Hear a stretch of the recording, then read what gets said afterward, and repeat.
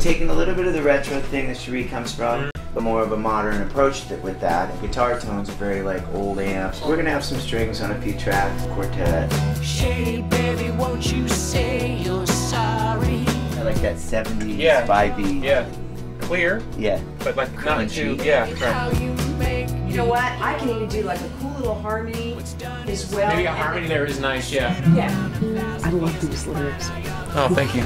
I was kind of thinking Kicking of down you when I boulevards wrote of it. splendor, I'll kick your ass. So I would have. I, I wrote that line for you. That's I love that's it. a line for you. That's not a line I would necessarily write for myself.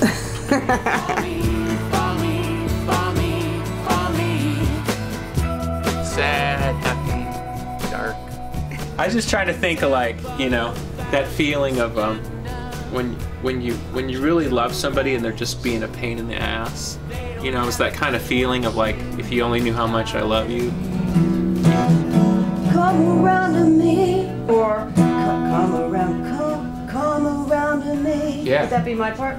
Or higher. Yeah. Come Come around to me. That, that's the octave, isn't it? Yeah. So be